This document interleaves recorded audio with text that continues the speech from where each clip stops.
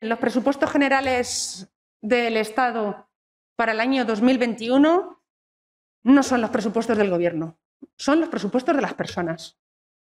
Son unos presupuestos que protegerán más y mejor en el 2021 y que desde luego sientan unos pilares sólidos para salir hacia adelante de esta crisis sanitaria mundial que ha golpeado nuestra economía de una forma dura y repentina.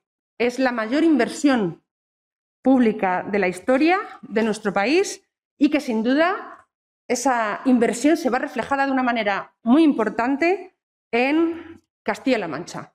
Va a beneficiar a los ciudadanos y ciudadanas de Castilla-La Mancha con más de 470 millones de euros.